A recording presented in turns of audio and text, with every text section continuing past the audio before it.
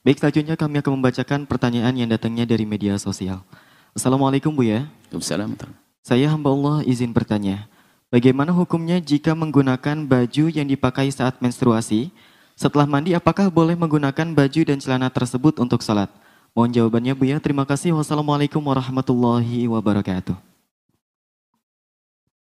Memang permasalahannya ringan banget, cuman kadang sebagian orang yang jarang ngaji harus bertanya. Mohon maaf.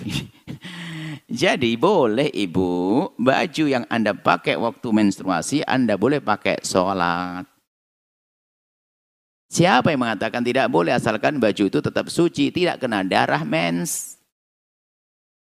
Kalau kena darah mens, tidak boleh dipakai biarpun bukan baju Anda, biarpun bukan baju Anda, sarung suamimu kena darah men Anda tetap nggak boleh pakai sholat.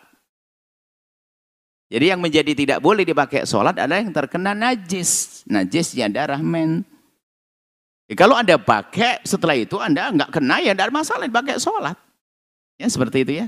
Cuman ini penting juga ada hal begini. Ada orang itu kalau tidak ngerti ilmu hidupnya jadi susah. Semuanya nggak boleh harus ganti repot segala macam. Wah ini mulut ya. Makanya senang ngaji lah ya hamba Allah.